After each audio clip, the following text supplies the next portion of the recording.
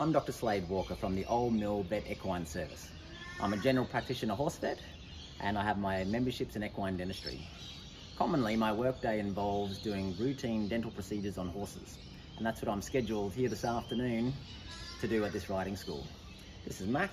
He's an 18 year old standardbred and he's due for his annual dental performance float and balance. Of course, as part of that examination, uh, we'll do a general health exam um, which involves measuring and monitoring uh, their weight, body condition, coat, feet, of course answer any questions that the owners might have or concerns, and of course look for any early signs of disease. Now once I've led them into the stocks, I will give a light to moderate sedation, and this is where I'll do the more detailed head exam before the dental procedure.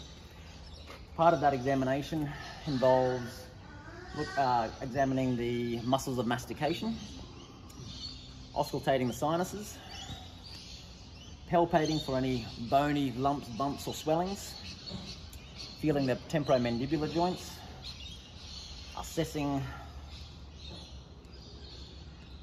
your horizontal and vertical movements of the jaw.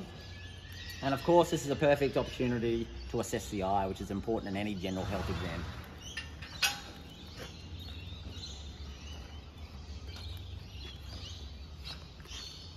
Now Mac here, I can already see he has a few battle scars uh, in the eye, but quite often as part of a general health exam, I'll notice a weepy eye.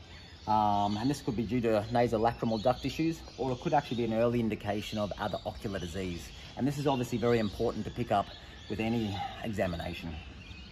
Uh, other things we'll be looking out for would be tumours, ulcers, infections, conjunctivitis, looking at scars, um, any conditions of the eye that would produce pressure problems uh, with the globe, uh, which would be uveitis, cataracts, even Cushing's horses will have uh, altered pressure of those eyes, uh, glaucoma.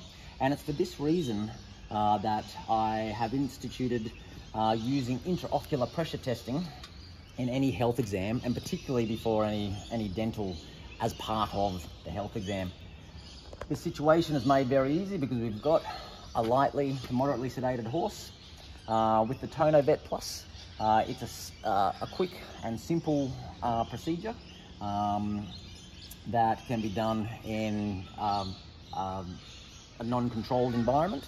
And normally you would, uh, for a comprehensive eye exam, you'd probably need to do the nerve blocks to take the spasm out of those eyelids to stop them working against you. But to do a, a pressure reading, an intraocular pressure reading, I don't find that necessary. Now, it is important when doing the exam not to really pry those lids open because that will artificially affect the pressure reading on the eye. I do find a little tip you want to just sneak under those eyelashes. Probably not helping here that we've got Max staring into the sun. Now the green indicates we're good to go. Now the TonoVet will average six readings. You can do those readings individually or if you've got a nice compliant patient, sneak under those eyelashes. You can hold that down and you can get six readings done automatically and averaged. Now, you would have noticed the red and green lights coming up. That obviously indicates when you're in the right position.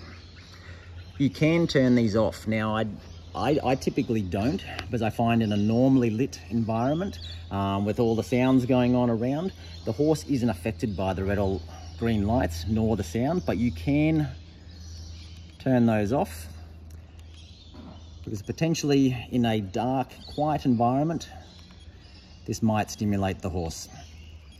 So you can turn those off if need be. Another option is you can use it in the horizontal plane. Sometimes that makes it a little bit easier to get under those eyelashes and do the reading that way.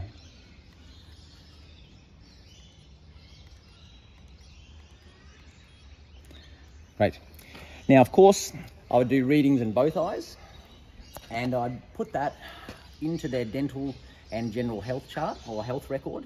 And if nothing else, it forms a good record and log of what is normal uh, in this patient.